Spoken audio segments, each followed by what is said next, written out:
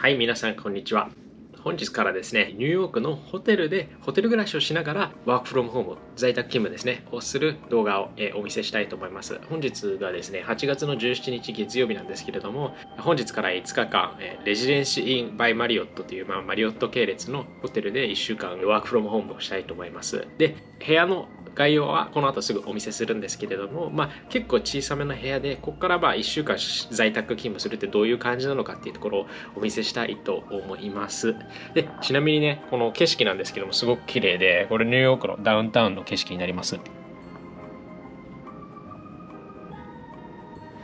こちら63階の部屋で計6日間宿泊してまして宿泊料が6日間でだいたいね1200ドルぐらいなので13万円ぐらいですね。なので結構高いんですけれども、まあ、ニューヨークの中心部であってかつまあ比較的高級なホテルっていう意味だと妥当かなっていうような感じですね。週間こう在宅勤務の様子をご覧いただければと思います。こちらがキッチンになってるんですけれども最初はねストーブついてるかと思ったんですけどストーブはついていなくてまあただなぜかここにねキッチン用具はあるんですよね。でなんかねご飯とか作れるみたいです。肝心のその電気ストーブがないんですよね。ただねそれ以外のアメニティはいっぱいあって食器洗濯機もありますし食洗機だ。ごめん。食洗機ね。まあこういった料理道具みたいなのもねいっぱいあって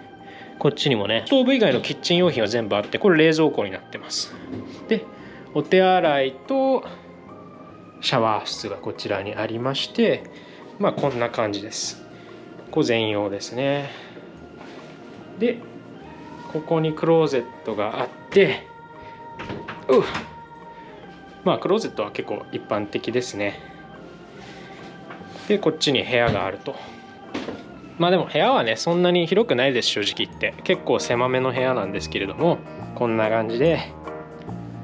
ベッドが中心にあるって感じです。なのでまあ本当にホテルルームって感じなのでここで1週間仕事するのはちょっと大変なんですけれどもまあ1週間なのでなんとかなるって感じですね。一応デスクはちゃんとあってまあこういったところにねちゃんとした機能的な部分もございますと。でねなんといってもこの窓側の景色がすごくて今63階にいます。65階建てのビルの63階なのでかなり高いところにいるんですけれどもご覧いただけるようにあそこがねタイムズスクエアになります。有名なねちょうどタイムズスクエアの中心の電光街みたいなのがあってまああそこすごい繁華街になってると。でこっち側はヘルズキッチンという私が昔住んでたエリアですね。この辺ね日系企業とかすごい多いんですよね。ちなみにあのちょっと見にくいかもしれないけどあの茶色ビル野村証券が入ってるビルになります。でまあこんな感じであっちがニュージャージ側西側ですね。でこっちが東側って感じです。まあ、すごくね綺麗なホテルでかつ景色は最高なので満足でしょうって感じですね。こんな感じです。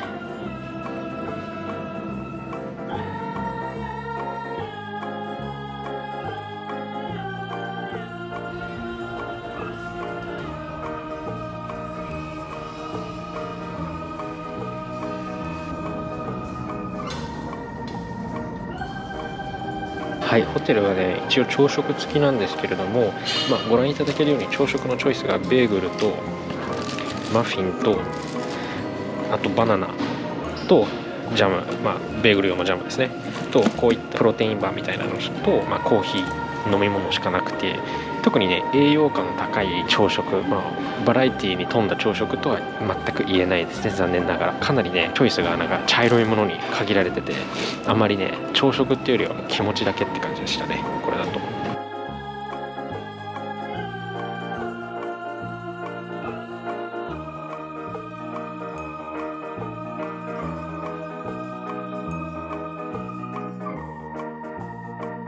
Yeah, definitely. I, I I I don't see any problem with getting, you know, make sure that it's not like guaranteed at any point. But uh, if it's if it's rushed, it might go to someone else. Uh,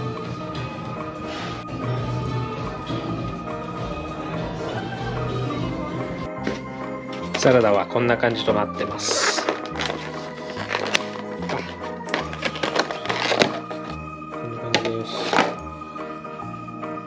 ケールとチキンのサラダですね morning sales teams follows up from those uh, form submissions. So that's um, one alternative I think I think we can take so that we're not. In, in a lot of cases, based on the industry that we're in, correct. If we separate, it's it's not the best. It still works.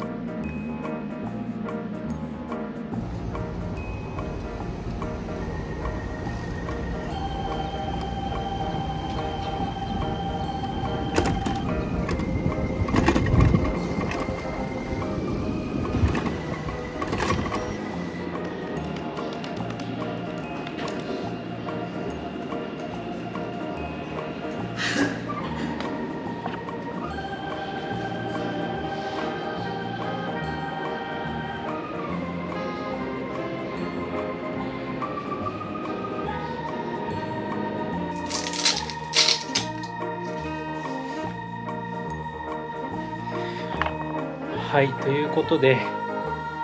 本日金曜日になりまして1週間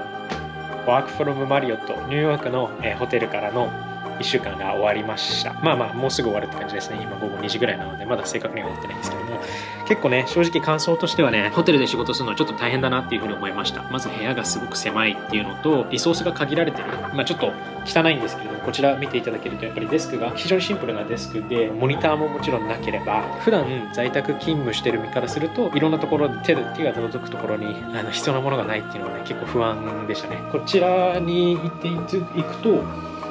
まあ、一応キッチンがあるんですけれどもやっぱりねお部屋の掃除に来てくれるんですけれども仕事中だったりして実際に掃除してもらえない日が多くて結局一日も全部きれいにしてもらったことはなかったんですねずっと仕事してるの。そうなるとやっぱりここら辺汚くなってきて、まあ、自分で掃除するのも大変なのでちょっと放置気味になっちゃってもうちょっと限界かなっていうところになりましたのでやっぱりそれもねホテル暮らしで外で仕事をしないとこういう結果になっちゃうんだなっていうのをすごい感じました。はいということでまあいいこと悪いところあると思うんですけれどもホテル暮らしからの在宅勤務お楽しみいただけれたらなというふうに思います。はいこの動画が面白かった参考になったという方は今後も旅関係の動画を、えーアップしていく予定なのでぜひチャンネル登録と LIKE ボタンを押していただければと思います。はいありがとうございました。